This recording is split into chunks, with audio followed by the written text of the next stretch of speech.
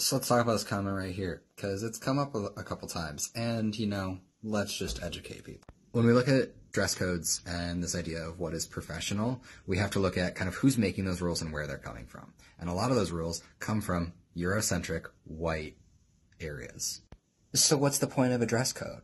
The point of the dress code is conformity and to put forth a specific image. But what is that image and where does that image come from?